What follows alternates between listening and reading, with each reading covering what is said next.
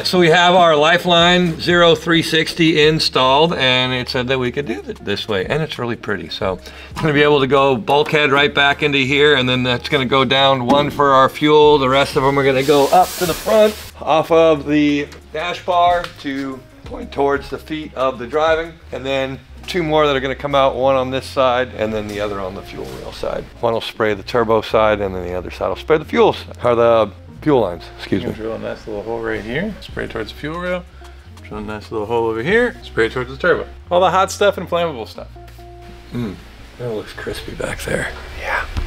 Let's get rid of that. And we got our seats in, so now I can actually do my harness bar eventually. I mean, no hurry to do it because it's really easy to get back and forth in there. So once we have all of the back completely buttoned up, then we'll put the seat in, mount the harness bar, and weld that in. Until then, though, we still have to do the search or the fuel tank and the battery box, which we have our little caps done for pass-throughs. Now it's to sand down that one, make it nice and smooth, and we'll be good to go to remove everything to build the battery box. and What put else our- we can do today? What? Bend some tubes. Oh yeah, we can do the, uh, the, yeah.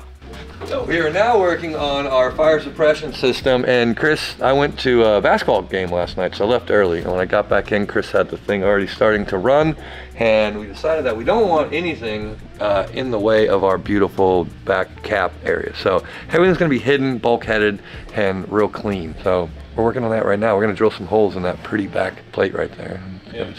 And Lifeline gives you these sweet little bulkheads that you can run your lines through firewall so you don't just have to drill a hole and worry about the lines rubbing on stuff and eventually bursting, which is not ideal because there's only one time you need a fire suppression system and when you need it, you better hope that thing works. So nice little double-sided push lock bulkhead. We have we're gonna drill a couple holes right here and I should have enough room to run it down. Then it'll run down underneath here to put the fire suppression towards our fuel lid on our cell. And then there'll be another bulkhead down there that's gonna run it to the front of the car. And I actually already put our nozzles Oh, you already got the nozzles. here and here. Sick. Drilled those holes yesterday and got those guys mounted. So that was a real fun time because that side ended up being like four layers of metal. So I had to grind it down so the bulkhead could actually thread in. But you know, it's all good. It looks like you used a tape measure. Yeah, I measured. Yeah, Okay. So I was looking over your shoulder. I'm like, you better have measured those. Oh yeah, no, symmetry.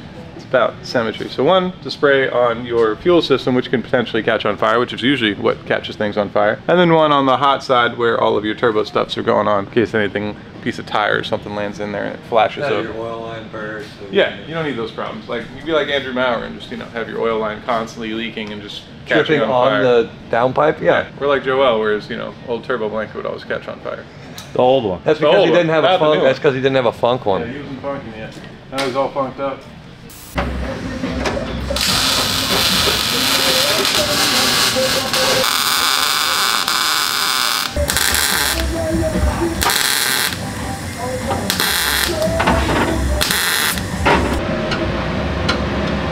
Look at this backside. It's right on the seat. Wow. Slight design change, and that's gonna go. Yeah, this, it's literally a sauce. I said the same thing to Crickett, and I was like, I want you to know that this was your idea for the design before you get upset with me. Or it's that one symbol in, in uh, Japanese. It's Buddhist. It's Buddhist. It's the symbol for unity. Unity. U N I T Y. Before it was a rap song. Yeah. Is that what it means? Unity? Yeah, it means unity. the complete, Buddhist the complete opposite. In uh, what, what year was that? We don't talk about in that. the late 30s, early 40s. Yeah, Around the complete time that I was born. The complete opposite. Yeah, Chris, you it was around born. the time that I was born. So yeah, it actually, if you get the real, the real meaning of it, it means unity and it's Buddhist. Well, I assure you that was not the intention. Okay. No, my intent was to make it look good without crossing lines. We crossed a few. you definitely crossed the line. battery box all done up now, so the battery fits in there real nice like. Oh, I found the washer you've been looking for. It's on top of the battery. So we have, this fits in here real nice. We have it already all marked out inside there. And we're gonna take and weld two plates on sideways so the battery can't ship this way. And we're making our own little post. FD rules state that it has to be a 3 8 inch bolt, two 3 8 inch bolts holding it down. This is a 3 8 inch bolt with some DOM tubing. So we want it to actually sit next to the battery, this, and that's flat there, and this will go bolt down to that. Still pretty hot. but we're gonna weld this in there as well. So one on each side, and then we're gonna do our little plate here so it can't shift that way. This will keep it from going back and forth. And then also, this is the right size that it doesn't cover up our sweet anti-gravity battery. Shout out to anti-gravity. We wanted you boys to still be seen. And we still have our little jump start button. Yeet! Almost there. We're getting there. We're getting close. So it's to weld another one of those together and we'll put them in there, weld those in, we can clamp down the battery and then, you know, we just need to get with our wire company. Can't say anything about them yet, but we have a wire company that came on board with us and Chris is very excited to be announced. But in the meantime, we're gonna keep plugging away on this. We have everything set underneath there and supposedly, Chris has been telling me this for four days now. WiseFab's coming in today. WiseFab's coming in today. I can only relay what is told to me, but our rear wise was supposed to be here. They actually had to build the rear kit for us because we were using the divorce setup for the separate shock and spring. So once we get that, then this will be a roller. That means we can roll it and put it onto this lift where Cody's car is currently taking up space. But we're gonna put it on the lift. That way we can do our coolant tubes under the car. We can measure for our drive shaft. We can do all kinds of fun stuff that we can't do while it's on jacks. We can do. It's just a lot more You can also weigh it yeah, we also can see want- how much this pig weighs. Got a With- lot of fat off. Well, I mean, we also took the diff out and all that stuff, so that's kind of a- yeah. another variable. Thanks, Adam. You needed a spare. A spare. Those things are hard to come by. You know, right before your car Whole backlight thing. backlight. Backlight. You can see us in like 6K, which is really scary. Chris keeps telling me I have a face for radio, and after seeing that 6K video last week, I believe him.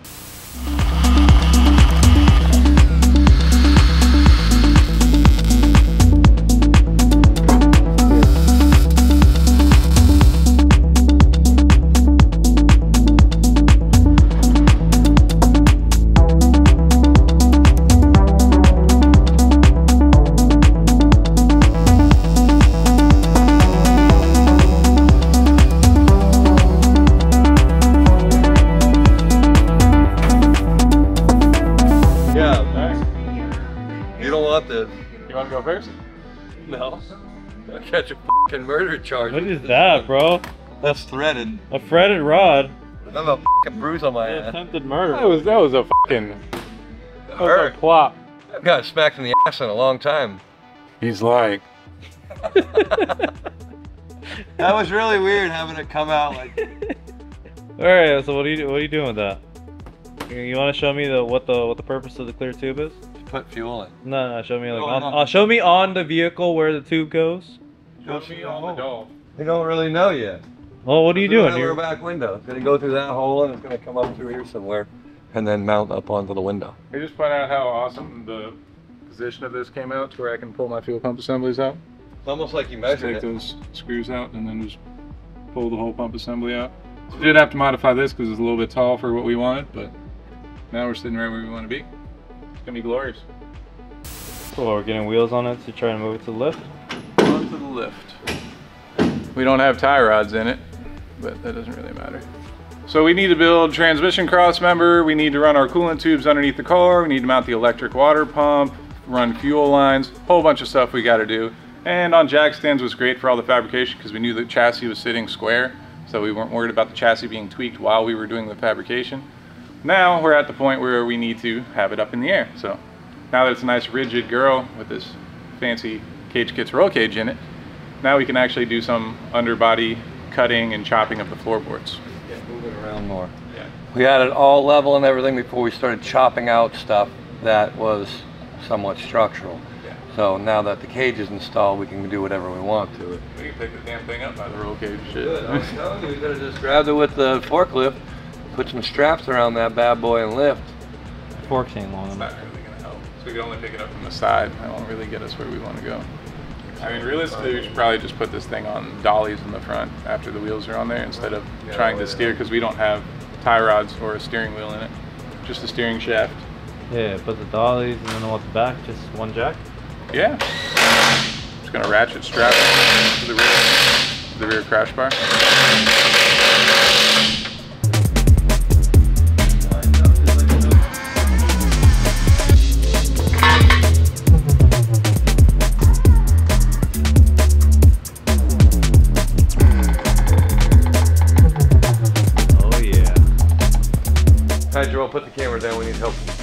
Birthday singers.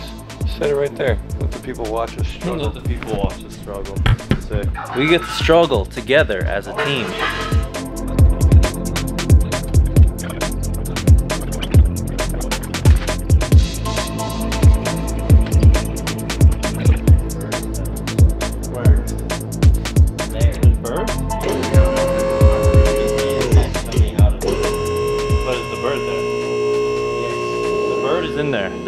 In there. You can Come hear the birds bird, chirping. bird. Oh, oh, there's the little bird. No way. That's a good spot. Smart bird. He goes to the same spot every time. Oh, there he goes.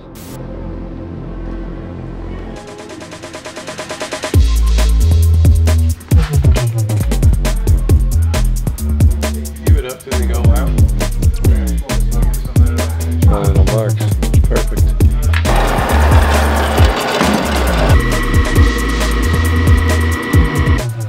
So we're making a trans cross member? Some trying to get a mock-up, make the middle piece, make the side pieces, then just make pieces to connect it.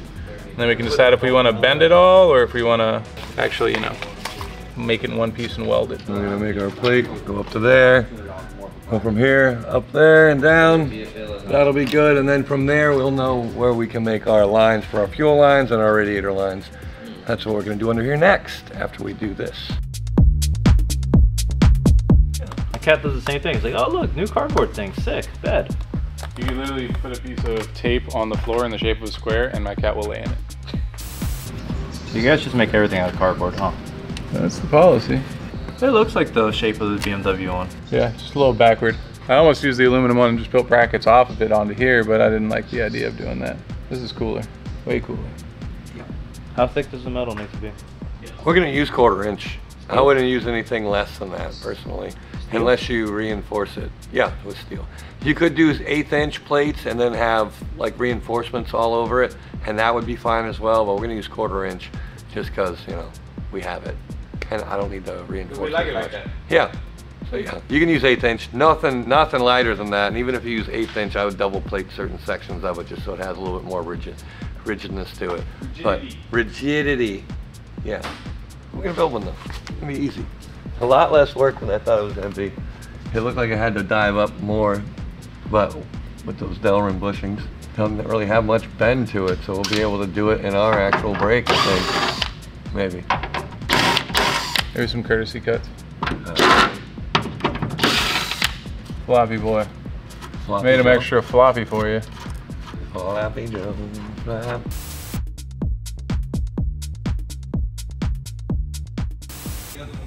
Uh, Chris back on the welder. Yeah, you know. Trying to do a little something. Stuff that nobody's gonna see, he lets me weld. Yeah, it's under the car. They won't see it. I mean, they will if they ever go under the car. Hopefully, it makes it got no look good. business under there. But yeah, I'm uh, I'm gonna go to California now. You have fun in Say hi to Micah California. Diaz, our sweet boy for us, will Yeah. you? Give Mike a big hug. We like the Micah. We like a, the Micah. Look, All right, hold fast. Go in to hold me real fast. have fun. You too, buddy. You too. We're gonna Bye-bye. enjoy ourselves building race cars. Au revoir. Bye bye. Au revoir. All right, so that's the end of the video. We're in California. Look, the LZ World Tour. If you guys are in California, make your way out here for a great weekend. Thanks for watching. Like, comment, subscribe, and LZ World Tour.